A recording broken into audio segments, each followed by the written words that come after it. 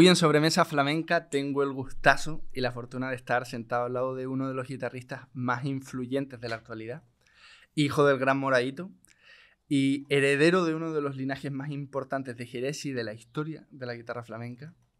Su lenguaje es el gusto, el ritmo, el pellizco, la sensibilidad y la esencia. Y desde que asomó la cabeza revolucionó lo que entendíamos por soniquete. No digo más, eh, bienvenido, Diego del Morado. Buenas tardes, encantado. Una alegría estar aquí contigo. Y la primera pregunta que quiero hacerte es, ¿cuál es tu primer recuerdo de la niñez en relación al flamenco? Al flamenco. Eh, los gitanos, eh, las casas de los gitanos suele ser nuestra banda sonora, ¿no? Que hoy día se escucha mucha música y pero por norma, el, las casas de los gitanos, pues el flamenco es... Nosotros celebramos la vida con el, flamenco y, y entonces no sabía decirte, lo que sí te puedo decir es que yo recuerdo estar en casa y, y, estar sentado viendo la televisión y, tener siempre aquí a mi padre tocando con, la esposa puesta ¿no? en, sí. en la estufa y ahí sí era muy muy pequeño, entonces ya eso empieza a ser parte de mí, de, forma parte de mí, algo Claro, tú no, tú no lo separas, ¿no? En, en tu infancia que era parte de tu vida. No, puedo, no puedo, claro, es algo que viene conmigo, ¿no? ¿Y, ¿Y, la guitarra, por ejemplo, la guitarra para ti al principio fue un juego o desde que te relacionaste con ella fue una sensación de respeto también? ¿Cómo, cómo lo viviste eso? Yo creo que hay una, una transición, ¿no? ¿Por qué? Porque mm, tú ves a, tu padre como tu, tu, héroe, ¿no? Tu, ídolo, tu, modelo a seguir, ¿no? ¿Y qué pasa? Yo, mi padre, como te he dicho, lo, que veo de, eh, siempre con la guitarra, entonces tú empiezas a jugar a ser tu héroe, tu ídolo, tu, ese modelo, ¿no? Entonces, primero coges una, una raqueta, un palo, lo, primero que tengas y te pones a hacerla, con lo coges imitan ¿no? a, eso. Entonces, eso es un juego. Y después, cuando empiezas a conocer la guitarra, sigue siendo un juego, ¿no? Sigue siendo un juego y al principio eh, te cuesta trabajo, pero te, te, das tu recompensa, no ves cómo vas evolucionando, pero sigue siendo un juego. Pero ya después, cuando empieza uno a, a tocar en los escenarios y empieza a hacer, eh, a ganarse la vida, como, empieza a fraguarse la profesión, pues entonces creo que empieza a hacer esa se pone eso, esa cuesta arriba, ¿no? Y, un juego más serio. claro, va siendo más serio, más serio, más serio, más serio. Progresión hasta los días, hasta el día de hoy. Y como me, me, decía Paco, ¿no? Que me decía, dice que eso no se cura, ¿eh, que eso va peor, ¿no? Eso va peor y va peor. Lo que pasa que algo con lo que vivimos y, y, y ya está. Lo único que hay que ser es honesto, ¿no? Que lo hablábamos antes fuera de... Sí, sí, sí. Hay que tener la guitarra en la mano y hay que estudiar y, ya está, pero eso ya forma parte de tu vida ya. Oye, Diego, y a mí yo creo que la mayoría de la, de la gente que te ha escuchado tiene la sensación de que de algo muy natural, pero tú que lo viviste desde dentro, ¿sentiste rápidamente facilidad al tocar la guitarra o fue algo de a poco? Porque es verdad que cuando de alguna forma el guiso ya está cocinado, parece sencillo, parece que, está todo fácil. Pero cuando tomaste la guitarra el primer año, los primeros dos años, fue, hostia, ¿se me da bien? ¿No me cuesta trabajo? ¿O, algunas, o, era un poco una lucha? Cuéntame, cuéntame cómo lo viviste eso.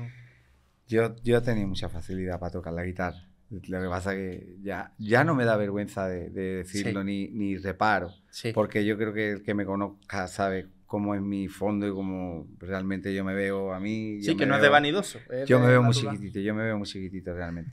y ya también la da, no me da vergüenza de reconocerlo. A mí me, me, ese juego a mí no fue, yo cogí la guitarra y me recompensaba, como te he dicho.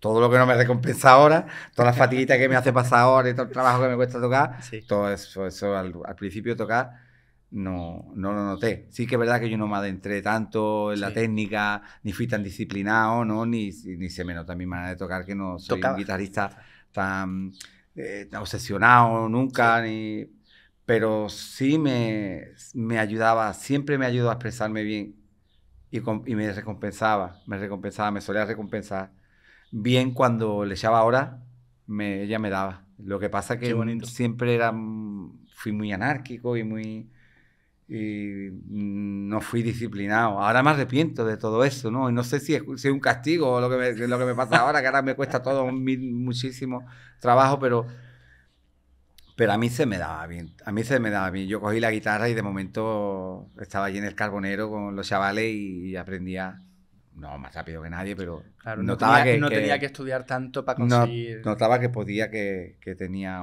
tenía por lo menos facilidad para tocar. Después... Sí. Y, Diego, cuando, cuando empezaste, ¿qué sientes tú que fue lo más importante para tu formación? Porque creo que es muy importante el, el, entorno donde tú estás. Hay algo que tú digas, es que esto fue clave para mí. Quizás algunos creerán que es porque por tu padre, o de pronto por Manuel Morado, o por Jerez, o por tu personalidad. ¿Qué elemento crees que tú, tú que fue decisivo para coger el camino? Fue, eh, sobre todo yo me crié sin contacto con ningún guitarrista. Yo no conocía a ningún guitarrista. Entonces, mm, yo lo, lo, que yo tenía aquí era a mi padre, que lo tenía en vena. no, y después yo no conocía, yo no estaba con guitarristas, yo no tenía amigos guitarristas, no, estudiaba con nadie, entonces fue también ese momento que salió Vicente, que salió como un vendaval, arrasando con, ese sonido, y esa manera tan personal de tocar y tan, tan en cierta manera tan con ese rollo rítmico ¿no? que, que, nos trajo. Eso te... Esas dos cosas fueron detonante para, para formar después mi personalidad como guitarrista. El no relacionarme con... Te hablo de eso sí que son los principios, principios. después me relaciona con mucho y después... Y me, me, yo, creo que eso es recíproco y eso de, eso vivimos todos los guitarristas, ¿no? De, de, lo que aprendemos unos de otros y ya después se va fraguando tu personalidad y quién eres tú, pero pero es verdad que esos momentos son. Se te graban El criarme eh, solo guitarrísticamente. Sí. Creo, o sea, sin colegas guitarristas que yo compartiera. Sí. ¿No? Yo era lo que yo sentía. Y, ese boom de, de, Vicente cuando llegó, que, que me pareció algo distinto a lo que habían. Qué curioso, ¿no? no me esperaba para nada esa respuesta. Yo pensé que me hubiera dicho, no, es que en la familia y nos juntábamos y éramos 10 tocando la guitarra. No, todo, al contrario, no conocía, no tenía contacto con. Hombre, conocía guitarristas, pero no me sentaba con él, no tocaba, no. no claro. O sea, siempre fui No me aportaban nada porque. ¿Te buscaste la vida tú? O sea, no me aportaba nada desde el punto de vista de que yo el, toque de Jerez ya lo tenía de mi padre. Yo, yo, sin, yo era capaz de hacer una faceta de mi padre sin sin que él me la pusiera, simplemente escuchando la, la falseta, sabía ya lo que estaba haciendo mi padre, ¿no? Ya Eso lo me pasa con muchas falsetas. Yo no, yo, yo digo sí, sí, a mí mi padre no me las ha puesto, por supuesto, sino yo, yo, ¿me puedes hacer esta falseta de tu padre que hice aquí? digo sí, porque sé perfectamente que, que la voy a hacer, por de escucharla, eh, sí, sí, no sé cómo explicarla, está, ¿sabes? está grabado en tu inconsciente. Eh, claro, exactamente. Ah. Entonces, es, había cosas que a mí no, a mí me llamó la atención esa llegada de Vicente y, y como yo me crié como te he dicho, guitarrísticamente un poco como aislado, pues esa mezcla, o sea, no, no, no, me, no me influyó, al mis principios me, influyó muy poca gente. Después me alimenté de todo el mundo, porque yo los admiro a todos y yo creo que todos me superan, sigo diciéndole, yo creo que todo el mundo toca mejor que yo, lo escucho tocar digo, ¿cómo toca? ¿Cómo hace estas cosas? ¿Cómo? Claro. O a lo mejor fue cuestión de suerte. Eso, ¿no? Que para otros puede ser, dice, es que no tengo a nadie, yo no toco porque no... Sí. Pues, sin embargo, para mí... El que le lleva, lo lleva, ya está. No lo sé, o simplemente fue algo que me vino bien a mi, a mi manera, en vez de... Y, aquí quiero ir a otra pregunta interesante, porque siempre, sobre todo, como, como tú viniendo de un linaje tocador, ¿tú crees más en la genética o en el entorno donde tú te críes? Porque pasa mucho esto de, no, es que yo no toco porque es que ni mi padre ni mi abuelo. Y me ha pasado mucho hablando, ya con, con los habichuelas, con, con, el paquete y los porrines. Y todo. Dijo, la mayoría son, yo no creo en, en esa genética ni nada. Eso es buscarte la vida y... Pero cuéntame cómo lo sientes tú. Me encanta. ¿Cómo lo siento yo? El entorno, escuchar y que tú te enamores de, del flamenco, por supuesto, y que tú te relaciones con, con guitarristas, pues te va a ayudar a, a crecer. Sí. Pero eres tú, lo que, las habilidades que tú tengas, que a lo mejor son las sería un fenómeno jugando al futbolín, serías el campeón de España, pero nunca en tu vida jugado al futbolín, entonces no lo sabes. Claro. ¿Sabes? O si tú eres un magnífico pintor, pero como nunca has cogido un pincel, no lo sabes. O, Claro. o un escritor, o te, te hablo de disciplinas artísticas como de otra cosa en la vida. Sí. Si nunca lo has hecho, si tú te crías en un entorno y te llama la atención, como le ha pasado a grandísimos maestros, ¿no? Y eh, de escuchar a un guitarrista, y dice, no, pero es que él estaba tocado por ese talento ya Claro. innato que él tenía. Después él cogió la guitarra como si hubiera cogido otro. el otro- mismo Vicente, ¿no? Yo no sé si él viene Eh, de... te iba a hablar del tocador. caso de él, pero no me gusta hablarlo de porque es una cosa muy suya. Sí, sí, Hombre, sí. El maestro, imagínate la admiración que le tengo, pero él dice que escuchó un guitarrista y hizo así Sí. y se puso a tocar, y imagínate la que le dio. Pero, pero claro, es que Vicente tenía ese talento ahí, que lo, Sí. hubiera, lo mismo hubiera sido el mejor clarinetista del mundo. Claro, sí, sí, sí.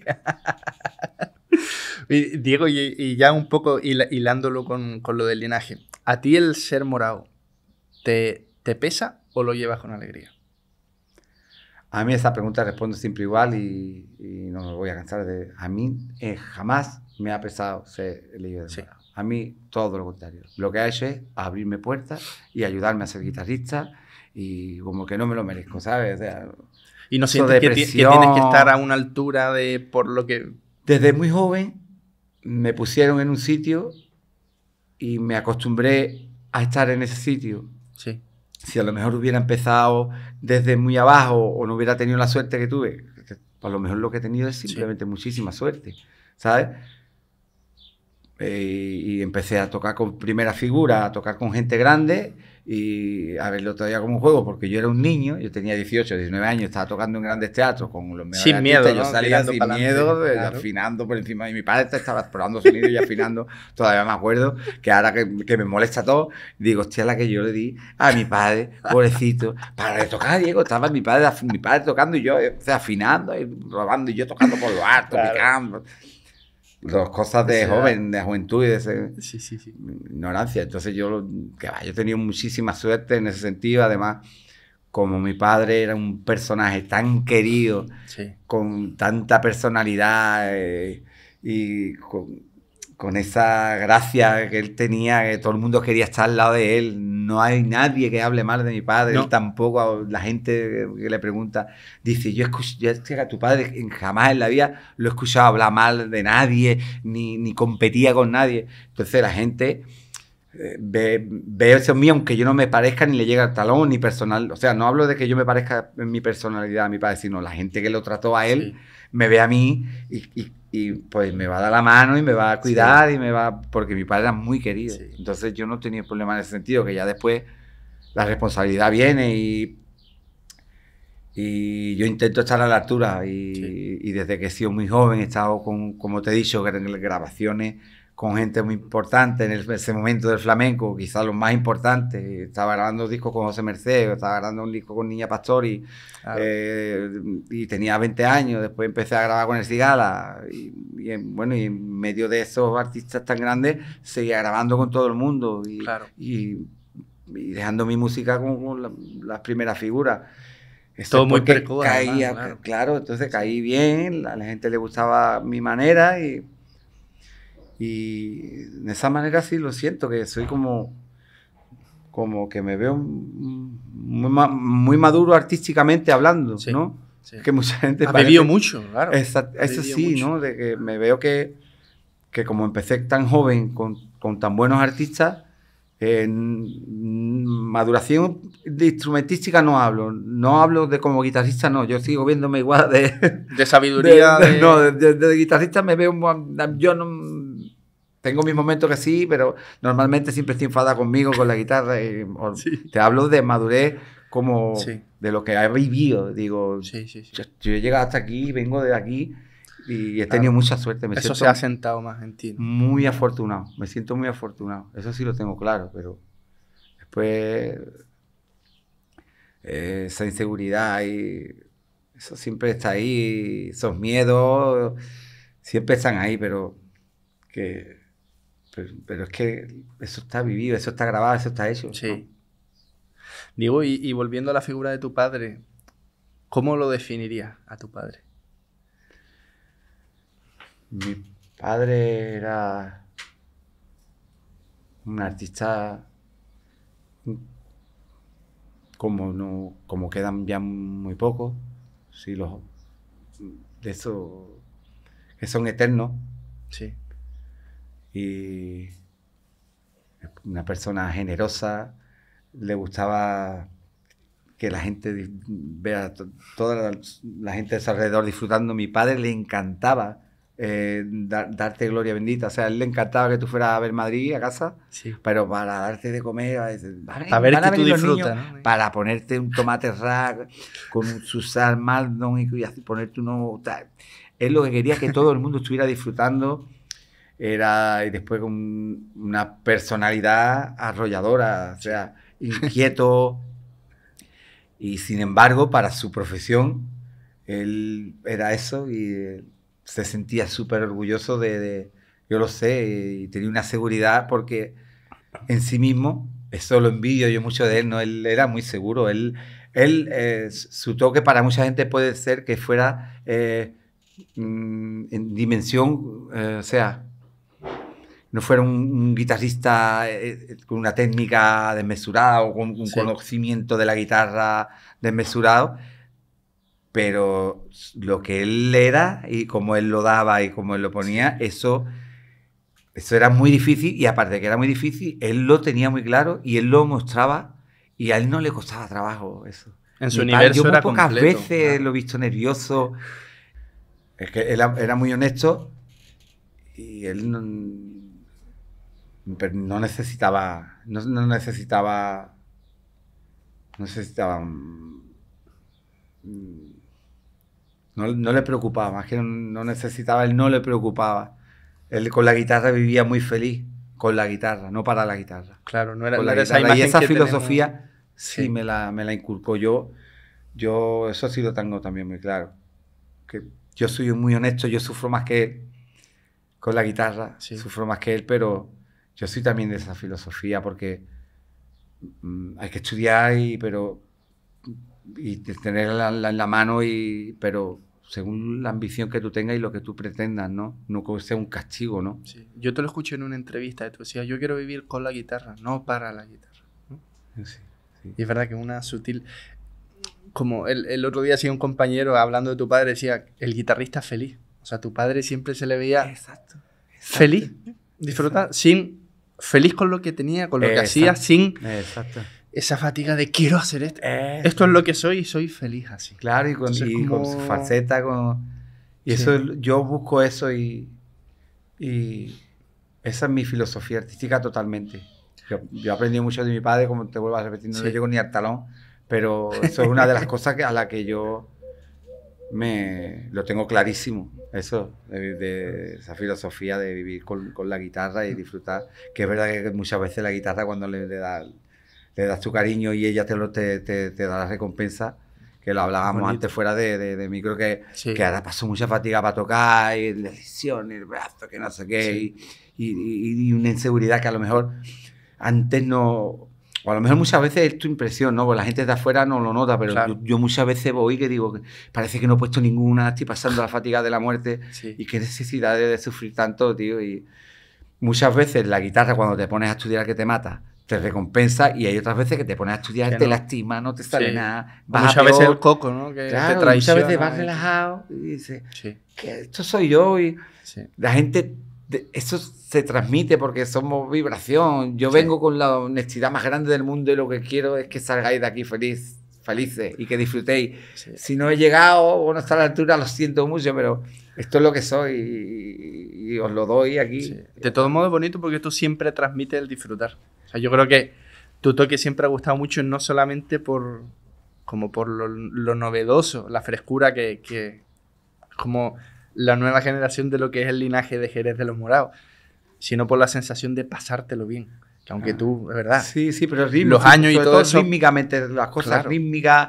eh, a Sí. mí me divierte mucho jugar con el ritmo. Y, y como eso quizá me cuesta menos trabajo, Sí. eh, a- abuso de ello. ¿Por qué? Porque mm, eh, como compensa esa fatiga que muchas veces paso, Sí, ¿no? sí, sí. me, me hace estar eh, ar- arriba, porque arriba se pasa, tú lo sabes perfectamente, se pasa muchas veces muy mal. sí. Aunque la gente, como decía el maestro, que no te lo noten. Cara de póker. Claro. no te lo puede notar la gente porque la, la- la gente va a disfrutar y paga un- Claro. una entrada para verte y para no para ver un hombre ahí pasando fatiga. No sé, la gente no sabe lo que está pasando una y cuando voy ahí, cuando estoy saliendo y como estoy de- cuando tengo un compromiso importante, bueno, importante y no importante, siempre, siempre Sí, porque yo sí. doy, quiero dar lo mejor de mí en cada concierto, pero Porque amas lo que hace. claro. pero claro, esos momentos que tengo, como yo disfruto con el ritmo y ese vértigo a mí me hace estar feliz y, y eso pues, Sí. pues Diego, ¿y, y tu padre qué, con qué consejos te queda que te haya dicho o, o cosas que tú guardes para ti? En una entrevista te vi también que cuando estabas grabando Orate, te decía, ah, pero no te olvides de rajear, hay que rajear más, ¿no? sí, Pero él, él, él te inculcó o estuvo muy encima de tu aprendizaje o te dejó que volara. Sí, una cosa que me decía. El... No, cuando los remate, porque yo los remataba, empecé a hacer cosas que, que a lo mejor. Las entendía, todas, las entendía, pero Sí. que ya él. sí, pero lo hacemos, cuando hacemos así, como cuando Sí. hacemos- me- pero me lo decía. Él era muy así, le gustaba mucho la bromear. Bueno, sí, la gente que lo conoce él tenía mucho aje, como se dice por Sí, ahí, sí, una sí. gracia. Sí. Y él en mi música nada, no, no se metía. Al revés, no, él no me decía nada, no me echaba flores, se la, se la decía después a la gente que, Claro. que, que él quería y que de cierta manera se, se sentía orgulloso de lo que yo estaba haciendo.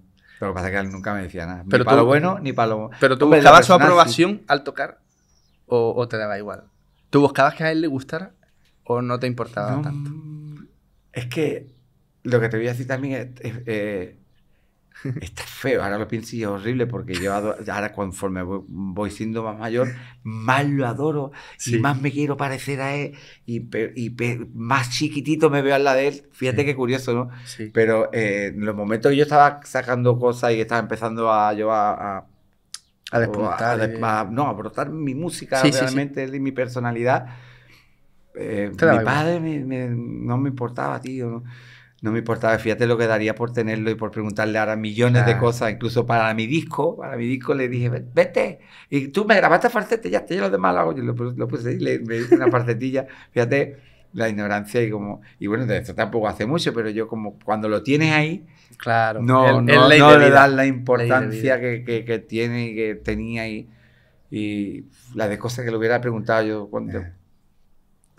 Pero es verdad que yo tocaba mis cosillas y me daba vergüenza hacer. O sea, no, no solía hacerle las cosas. ¿Sabes? Y él igual conmigo, él igual conmigo. Él no me, no, si yo estaba por allí, por casa, él no, no solía tocar, ¿no? Hacía así, la guardaba. ¿Sabes? Yo, yo hacía igual, yo estaba tocando y estaba él por ahí, me ponía a tontear, no me ponía a estudiar. Pero tampoco me importaba más de, otro, de otros guitarristas porque yo sé que en el fondo se sentía orgulloso da- ya de, de, de- Sí. guitarrista. Si no, Sí. él no me hubiera dado, no me hubiera dicho ser guitarrista porque él nunca quiso que yo fuera guitarrista. Claro. Él nunca quiso que yo fuera guitarrista. Quería que yo estudiara y que, Sí. que me olvidara de eso, que se pasa mucha fatiga y que ser guitarrista es muy, muy sufrido y la fatiga que pasó, ¿no? Para Claro. llegar a donde llegó, pasó muchas fatigas, todas Sí. las que yo no pasé, Que pasó. Diego, y, y cambiando un poco de tercio, pero con la, con la misma línea. ¿Por qué en Jerez suenan diferentes los guitarristas?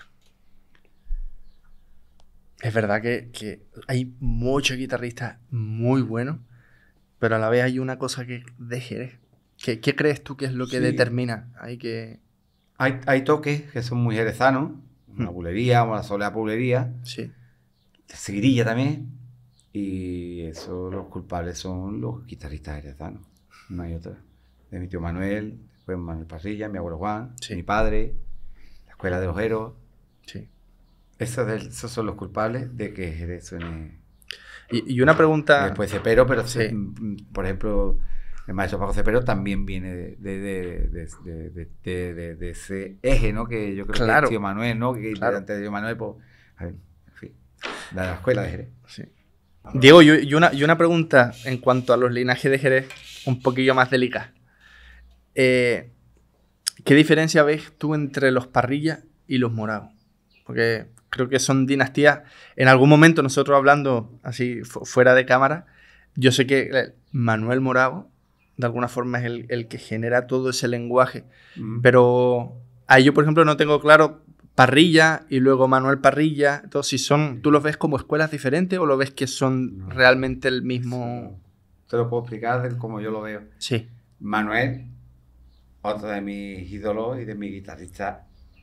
O sea, a mí Manuel es lo máximo. Se puede componer más flamenco y llegar donde llega Manuel, a mí me llega a un sitio que no me llega a nadie. Sí. ¿Qué pasa?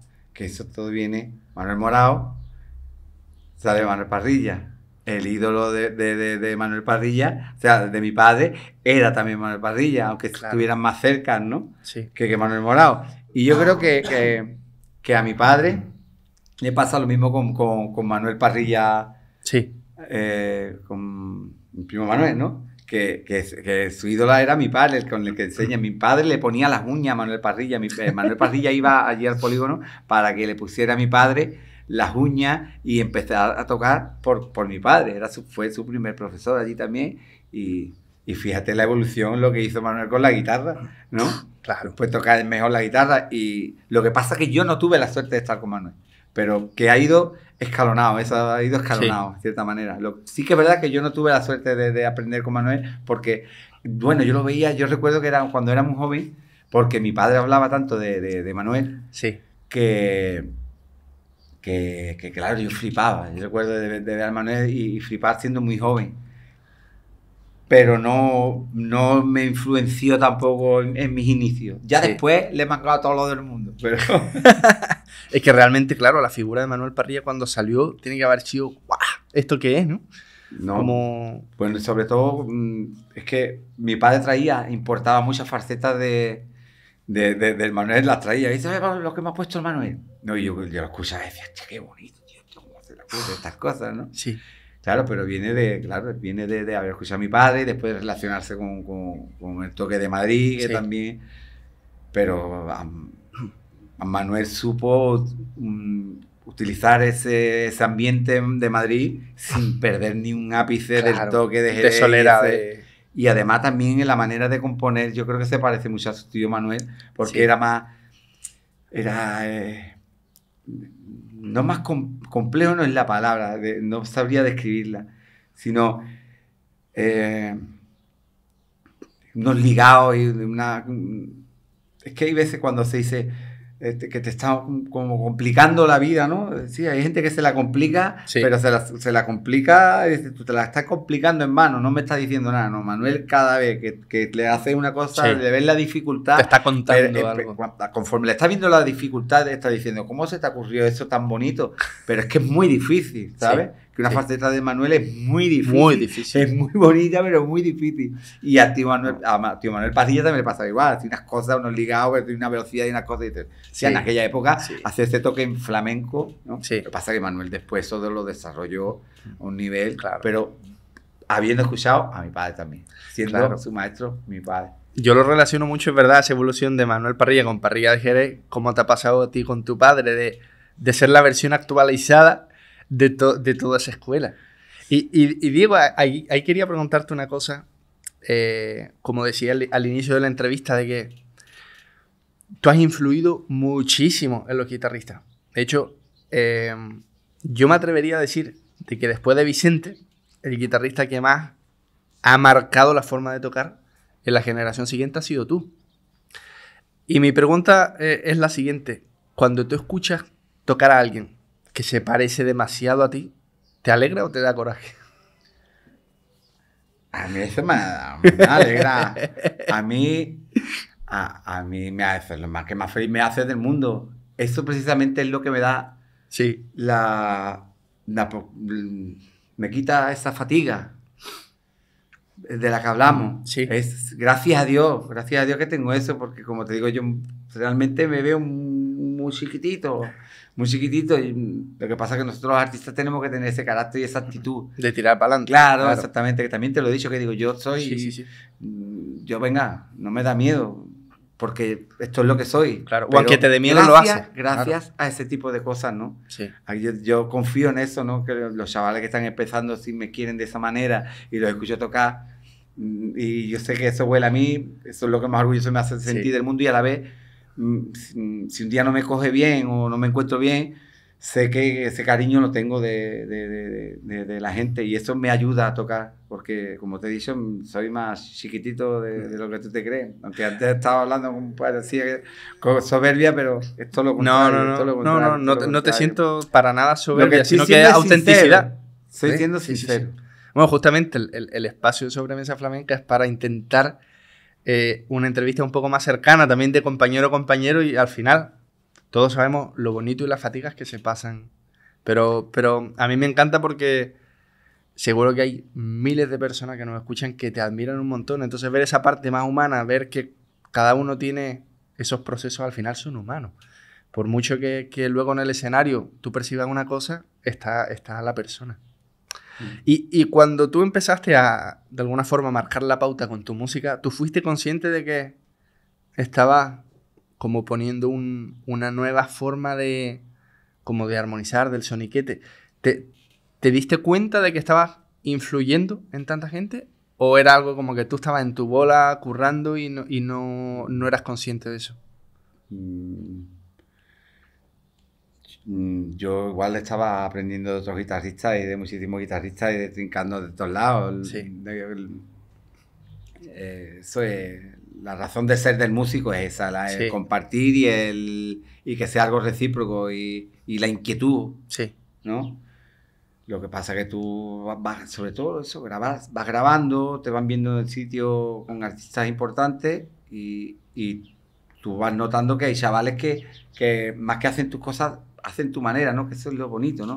Porque ya no son mis farsetas, porque yo prácticamente hago muchas farsetas de mi padre, la mayoría de farsetas que hago son de mi padre. Claro, y la, y la de poner otro sentido. Y... Sí, pero, pero eso sí me doy cuenta, claro, estoy consciente de, de la, de- de la manera, de, de lo- de la manera de rajear, de la Sí. manera de utilizar el ritmo.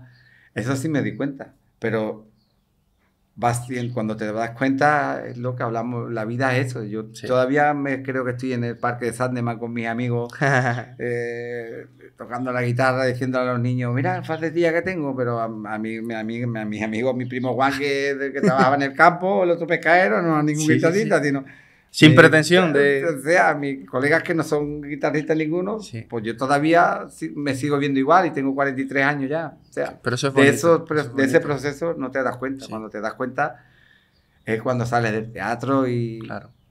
y escuchas a los chavales cuando llegan a los sitios, cuando se van para ti o vas a echarse una foto, eso poco a poco te vas dando cuenta. Lo más bonito de esta profesión sin duda es eso y, y lo que más hon- honestidad hace que tengas y, y consecuente, que seas consecuente con, con esa gente que te quiere, de no defraudarlo, Sí. pero a la vez también es, ese equilibrio del, del cariño que te, que te tiene la gente, pues también te hace no estar seguro, pero decir, a mí la gente creo que me quiere, ¿no? Un poco más arropado. Claro, o por- lo menos hacerte esa ilusión en la cabeza, ¿no? Sí, sí, sí. Para salir un poco lo más tranquilo posible.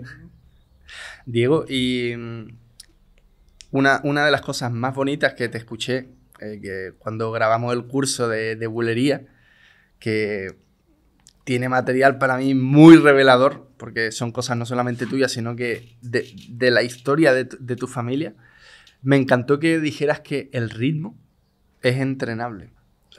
Yo, yo te lo decía, que, qué bonito que hayas dicho eso, porque lo que se espera de alguien como tú es que diga, con eso se nace. Y el que no lo tiene, no lo tiene, ¿no? Es verdad que cada persona puede nacer con predisposición, ¿no? Y con ciertas facultades. Sí, sí, sí. Pero que alguien como tú diga que el ritmo es entrenable y mejorable, yo creo que de los que nos están escuchando, para muchos es como luz al final del túnel, ¿no? Ah, Como, pero- cu- cuéntame cómo, cómo, cuál es tu filosofía con respecto a eso. Eh, hay gente que le cuesta trabajo eh, tremolar, ¿no? Sí, hay gente que le, que le cuesta trabajo picar. Hay gente que le cuesta trabajo más arpegiar. Sí. A, mí, aunque pique muy malamente, pongo la mano muy malamente, humanamente, y los dedos así, se me partían todas las uñas por aquí. Yo cuando estudiaba, eh, mm, si estudiaba y me ponía a picar, podía llegar a picar, no picar como pican estos niños, pero, pero que no se me daba mal, fíjate, no se me daba mal. Y tú puedes, como tú bien has dicho, dices, tú naces con una predisposición que te, a ti te, te vienen bien algunas cosas más que otras. Sí. Mm, pero lo que es entrenable es mejorable y el ritmo también se puede entrenar, que es verdad que yo mm, rítmicamente eh, lo veo fácil, me divierte y, para mí, bueno, lo veo fácil. Que para mí es divertido jugar con el ritmo, ¿no? Es un lenguaje que controla. Sí, más que controlo, que es como, eso es como que el ritmo y improvisar sobre el ritmo es que también como cuando improvisas sobre la, con la melodía. Eh, poco a poco, conforme vas teniendo más información y más capacidad, pues te vas alejando más de, de las escalas básicas, ¿no? Pues el ritmo es igual. Al principio das este, pero llega un momento que te empiezas a volar, a volar y puedes llegar hasta aquí siempre y cuando sepas dónde estás. Como si tú viajar en el tiempo. Ya sabes dónde estás, pues eso se puede hacer igual con, con la melodía y con estudiando y con el ritmo también. ¿Qué pasa? Que hay que entrenarlo también. Hay que entrenarlo. Que hay gente que tiene más facilidad para unas cosas que para otras. Pues, pues, pero eso, eso sí es innato, la facilidad. Sí. Tenía el maestro, y, lo que te he dicho yo, yo me cuesta la vida me cuesta... Otra, hay muchas cosas que me cuesta, me cuesta mucho. Y pero estudiar es que tampoco es que estudio mucho, pero yo me he dado cuenta de que si yo estudiaba mucho el picado, o sea, que cuando la cogía mucho, mucho y picaba, sacaba fruto. Y hay gente que yo lo he visto, ¿no? Que, que le cuesta mucho le, suena el trémolo increíble, otras cosas súper limpio y súper bien, y no, le costaba mucho a lo mejor picar. Porque es su, lo, que tú, lo que tú bien has dicho antes, la predisposición que tú tengas. Es verdad que yo tenía facilidad para algunas cosas, pero, por ejemplo, el picado, si tú dejas de entrenarlo, pues, pues pica muy mal. Yo creo que de los pocos guitarristas, es lo que se habla siempre de Paco, ¿no? Y Paco lo decía, es que nunca me ha costado. Paco decía, es que, es que no me cuesta trabajo, es que pico todo lo rápido que yo quiera, ¿no? claro. Y es una alegría, pero lo mismo le costaban otras cosas. Claro, no, pero, el maestro era muy, muy... Él lo decía también, eso que... Ahí ni tu tía, la guitarra no hay secreto, eso es la hora que tú le eches. Lo que pasa es que hay que echársela lo que te viene mal. Como también decía el maestro Enrique Morenti, dice, ¿cuál es el cante más difícil? El que peor se te dé. Igual. Pues para mí, ¿qué es lo más difícil? Pues para mí lo más difícil es tocar un toque libre, que suene bien, un trémulo, esas que yo puedo sí. te digo, qué bonito, tío, cómo suena. Qué alegría. Y a mí toca populería, toca en una fiesta, toca eso para mí es divertido y pero que si es entrenable el ritmo, también es mejorable. Claro. Nada, no, yo es que eso ni que te no tengo. ¿Cómo que no, hombre? Ponte ahí, ponte esto, vamos a hacer esto y vamos a hacer esto. Y yo sé trucos y técnicas que, el que, te la, que las puedo eh, te puedo intentar eh, explicártela para que, para que tú evoluciones en el ritmo. Aunque a ti te cueste un poco más trabajo por el entorno o por lo que hemos dicho antes, o por simplemente que te cuesta más trabajo ya está, el ritmo. Claro. Y, hablando de Paco, yo sé que en, en, algún momento él te llamó para cuando en la época del disco de la Tana y todo eso. ¿Tú conviviste mucho con él o no, fue, no fueron tantas veces? ¿Te dio algún consejo? ¿Cómo, cómo fue esa, esa relación con Paco? Yo, yo, yo mucho no coincidí con él. Tuve esa, lo de la Tana. Sí. Y después, lo que pasa es que fue muy intenso. Ya después por teléfono hablábamos mucho. Sí. Y yo yo sé que yo le caía bien porque se reía mucho conmigo. A mi padre lo adoraba, lo que hemos hablado antes. Como a mi padre lo quería tanto, la gente. Y moría con y que la forma de pues a mí pues, pues, yo le caí muy bien. Y, además, ¿sabes? Como ese miedo que nos ve, eso le encantaba verte ahí asustado. le gustaba. Pero claro, esas cosas, sí. Pero él me veía a mí que, que Miedo, pero no, no ese miedo serio, que él tampoco quería eso, que era muy divertido y muy de guasón, eso. Y él me veía ese miedo a mí de, de, de, de, vaya a hacer, hacer a doble si yo me voy a ese, ese, no, maestro, es que yo no, eso, nada, no, le gustaba a él. Pero no me estás viendo, saca, los leones para que picara, porque sí. los leones voy a atacar. Espérate que te voy a hacer una escala, pero no te vas a reír. ¿no? Mira, como me explico de malamente, maestro, cómo voy a hacer una escala. Y picar delante, Paco, claro. Ese tipo de cosas, ¿no? No te he visto antes improvisar. Cuando estaba aquí en el sofá, te he visto que estaba improvisando toda la melodía. Hazme algo. ¿Sabes? Ese tipo de cosas así, pues desde la guasa, después los claro, Sabía dónde, dónde, debe pincharte para... Sí, pero yo tenía una cosa muy bonita que se morirá conmigo, con él, desde mi, mi, mi, pequeñez, ¿no? Sí.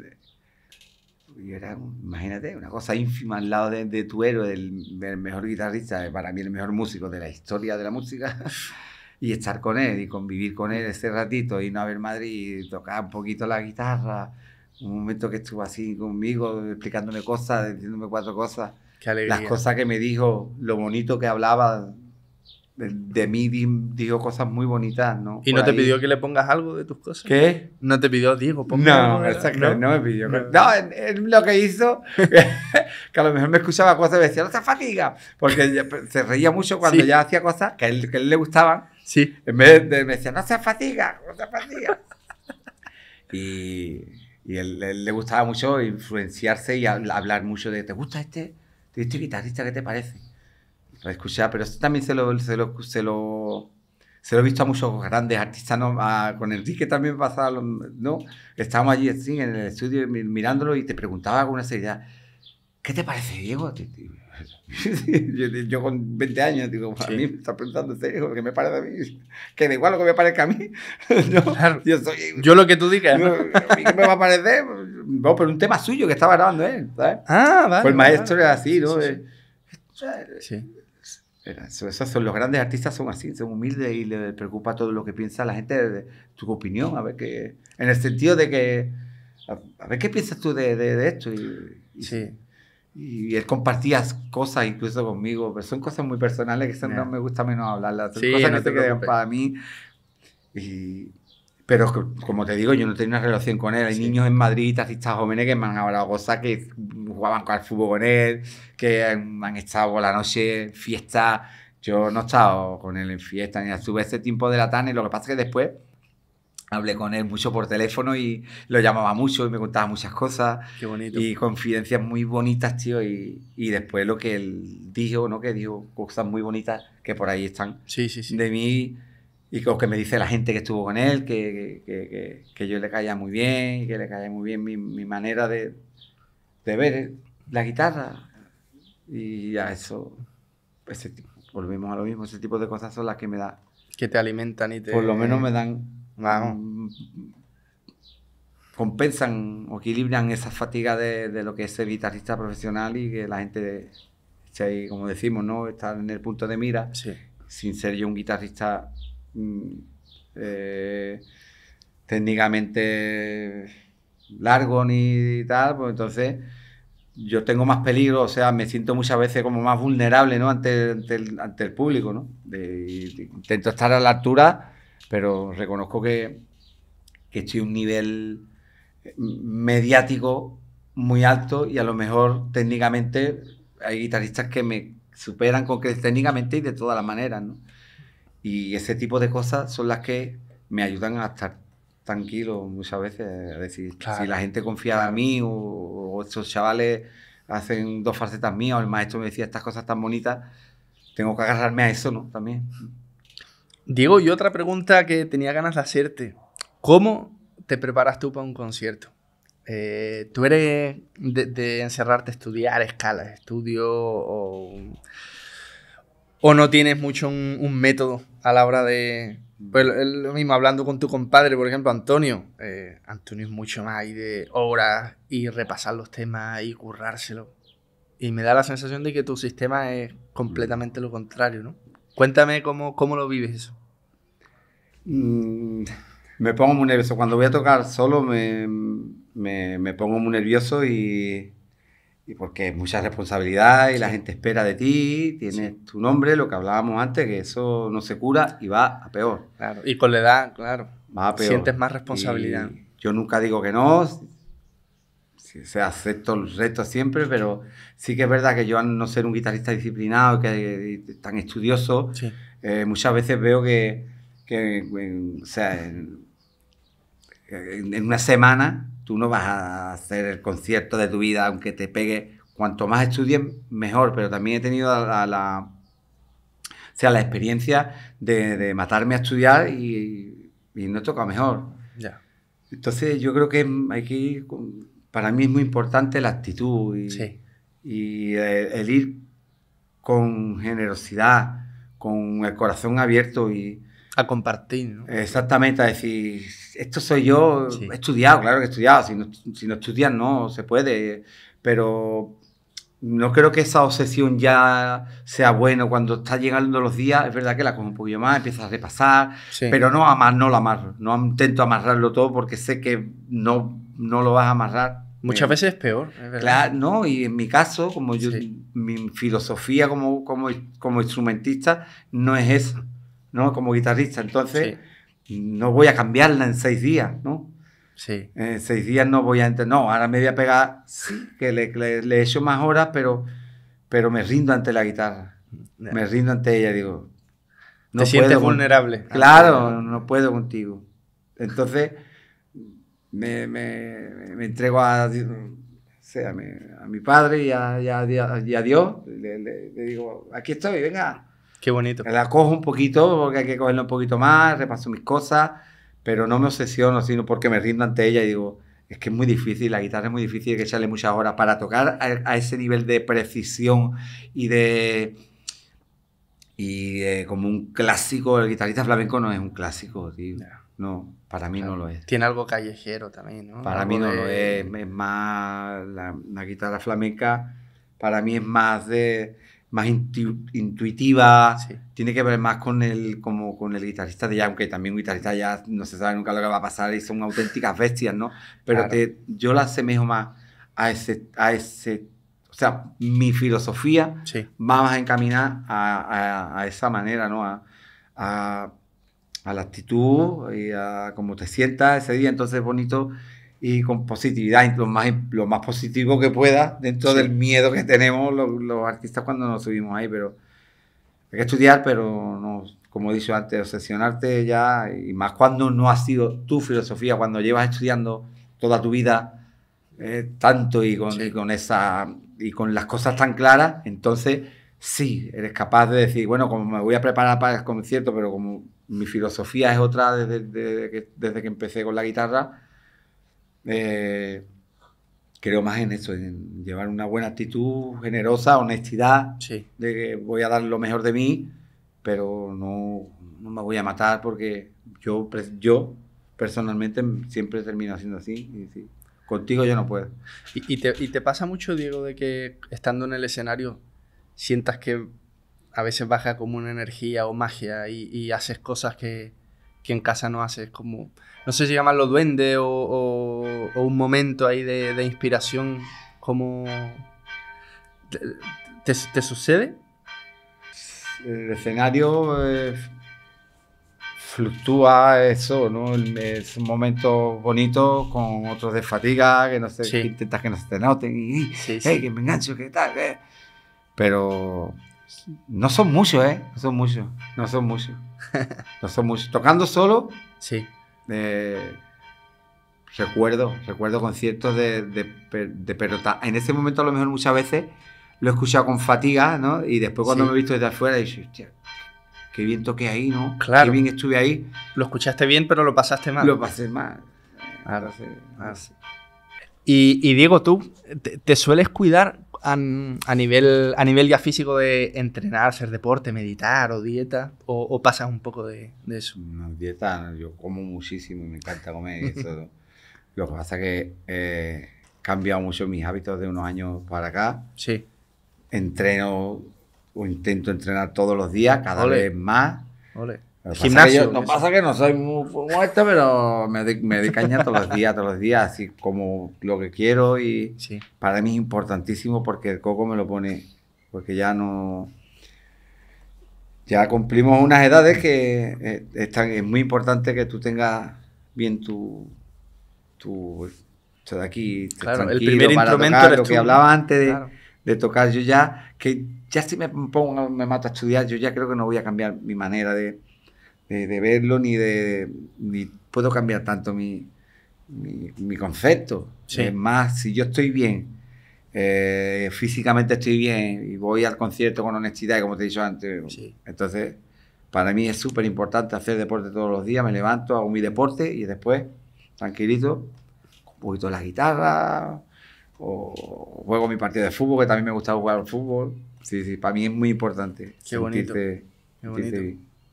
Diego, ya para ir terminando, que vamos a cerrar con el cuestionario del guitarrista. Eh, quería darte las gracias por, estar aquí, no solamente de mi parte, sino de todos los que nos están escuchando, porque un primera figura como tú, eh, no todos los guitarristas guardan en sí ese ingrediente un poco como de magia o de... No quiero decir leyenda porque quizás tú vas a decir, ah, Pito, no me digas leyenda, que, te eso pasando, además me está... pero... me estás poniendo demasiado bien. Pero... Tú, eres de los que me ponen nervioso, ¿lo ves? pero, pero que tú estés aquí y compartas tu intimidad, que compartas eh, ese lado un poco más personal, que es el propósito de estas entrevistas, porque yo sé que tú puedes dar mil entrevistas, pero, pero aquí es crear una instancia donde justamente puede haber un chaval en México o en China o en Chile o lo mismo en Jerez también, que no te conoce y te ve ese lado más humano, ve ese lado personal y, a mí me llena la alegría de poder crear este contenido. Y aparte quiero invitar a todo el mundo que hemos hecho un curso precioso de la bulería, voy a dejar aquí un enlace, eh, que también ha sido... para mí no te has guardado nada, en el sentido de que, de que tú como heredero principal de, una dinastía tocadora, compartir esa forma, para mí es, perpetuarla también, ¿no? Y, es una forma de, demostrar el respeto y el cariño que tienes hacia eso, ¿no? Muchas veces puedes decir, es que esto es mío y yo no quiero que se entere nadie, pero me he dado mm. cuenta que tú eres lo contrario, es como, estos somos los morados, este soy yo y esto, y lo quiero compartir. Y, es muy bonito que así sea. yo, lo veo así, yo lo veo así. Qué alegría. Bueno, pues Diego, eh, primera pregunta, ¿guitarra blanca o guitarra negra? Es A o B, ¿verdad? Claro. Esta, se supone que tiene que ser A o B. no, no. Hay gente que me ha dicho A, B, hay gente que me ha dicho pelirroja, eh, lo que. Ah, yo sé, para cada momento una, tío. A mí para acompañar me gustan las blancas, pero quizá para tocar solo me gusta más. ¿Y tu postura para tocar? ¿Postura? Sí. Postura, realmente lo, lo hago estoy muy mal, muy mal. Pasa que estoy más delgado, muchas veces me siento más cómodo con la, con la pierna cruzada. Sí. Que según cómo sea la silla, así te tienes que poner. Es verdad, una silla mala te mata, ¿no? Claro, pero una silla bajita yo estoy cómodo. Sí. Pero una silla media yo no, porque soy muy alto. O es muy alta la silla y puedo cruzar la pierna, o una silla muy bajita y la. Claro. También es que eres muy alto y eso. Claro. claro. Y luego, ¿cejilla moderna o tradicional? Eh, vamos, la, de aquí, claro, rápido. Sí. Las campanas otra vez, mira, estoy aquí. ¿Usas afinador? Me afino y tengo aquí uno siempre. Luego, las uñas naturales, gel, porcelana. Tal cual. Nada. Nada. Ni esmalte, nada. Luego, nylon o carbono. Nylon. Media alta o baja tensión. Media. Media. Bueno, ya lo hablamos un poco antes, pero ¿eres disciplinado? No, no mucho, ¿no? Pero es que eso no me gusta decirlo, tío. es que no es que sea disciplinado, soy honesto. Sufro mucho con la guitarra, pero ya, ya es tarde, como digo yo, ya es tarde. Me gusta estudiar, pero ya me cuesta mucho todo. Pero no es un buen consejo, ese no es el consejo, ¿eh? La guitarra, todas las horas son pocas. pero si aquí no se trata de un consejo, se trata de, de tu forma. Ya está. Aquí no es que tú estés aleccionando a nadie. Tu forma es esa. Soy, soy así. También se te nota tocando. El que es demasiado disciplinado se le nota tocando también, ¿no? Sí. Luego, ¿eres diurno o nocturno? Ahora diurno. Vale. Eh, ¿Te pone nervioso antes de tocar? Muchísimo. ¿Y qué te gusta hacer media hora antes de salir? Tengo un calentadorcillo que me lo llevo ya casi como por raide. Tu mejor, tu mejor amigo. Me lo pongo ahí me tomo una cervecita, me gusta tomarme una cervecita, sí. un poquito de, pero no, no suelo, muchas veces no bebo, ¿no? Pero la verdad que sí me, me desinhibe a lo mejor mi cervecita, tranquilito, ¿no? Y mi manita en el calentador, y me gusta que me llamen para salir, no estar abajo esperando. Ah, claro. vamos, vamos es soltar y tirar. Claro.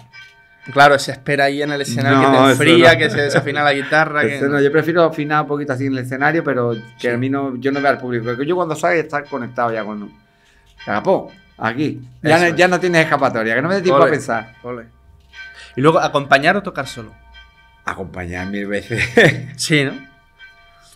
Diego, y, y tres discos de guitarra que a ti te hayan marcado. No importa que sean los más trascendentales de la historia del flamenco, pero que en momentos de tu vida te hayan sorprendido para bien. el, el segundo de, de, de, Vicente, Vivencias, ¿no? sí. eh, ese- se me, me- eso me- De ese me impregné. Ese tío. Mm, es que te los tengo que decir, los que va a decir todo el mundo, pero te los tengo que decir. No pasa mí nada. Siria, Siria, De Paco, ¿no? Sería. Siria y. Sé, tío. Y el del tomate de, de, de- de que hace la bulería de- a, mi, a mi tío. Eh, Ah, el Barrio Negro. Barrio Negro, ¿no? Ta, ta, ta. Bueno, Claro. pues te voy a decir mucho, pero. Qué bonito. gusta. Mora y oro, por supuesto. Te, te- te- me pongo aquí, ¿no? Sí, claro. Es que Y- todo el mundo habrá dicho las obras maestras de. Porque está Siroco. Claro, Claro. pero. Es que hay muchos, tío. Y te cambio el tercio. Tres artistas que te hayan marcado.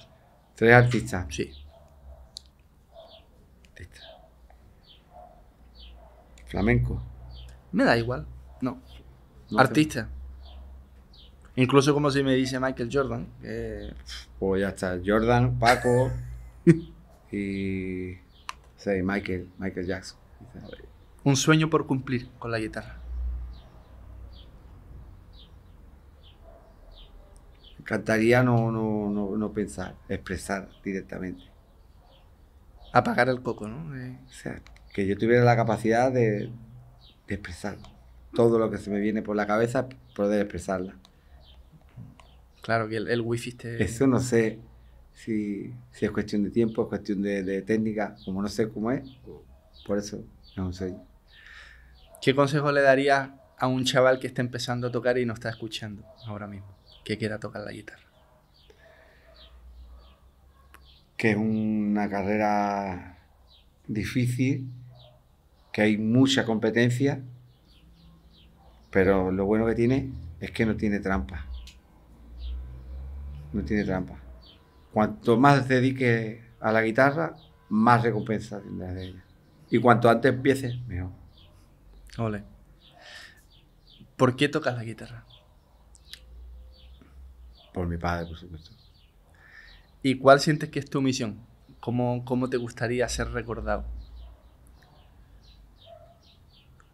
Mm, como un digno her- heredero de- de- de- de- del toque de, mi padre y, de, y que Jerez me, me- me- por lo menos que Jerez me, me quiera y me- se me respete. Con eso sería, si ya paso más fronteras, pues todavía mejor, pero como mínimo que se me quiera y se me respete como guitarrista. Bueno, Diego, te agradezco por, por este ratito. Eh, me da mucha alegría de poder conversar contigo. Y bueno, eh, tú sabes que aquí buscadores de buscadores flamencos, eh, este sobremesa flamenca tiene las puertas abiertas para ti cuando quieras. Y te agradezco de que nos haya abierto tu casa y poder compartir esta. A veces para nosotros son palabras y para muchas personas pueden ser un- una puerta abierta, ¿no? De pronto cuando uno tiene dudas, fantasmas, miedo y escucharte a ti eso es una, una alegría enorme. Así que gracias Diego. A vosotros siempre, encantado.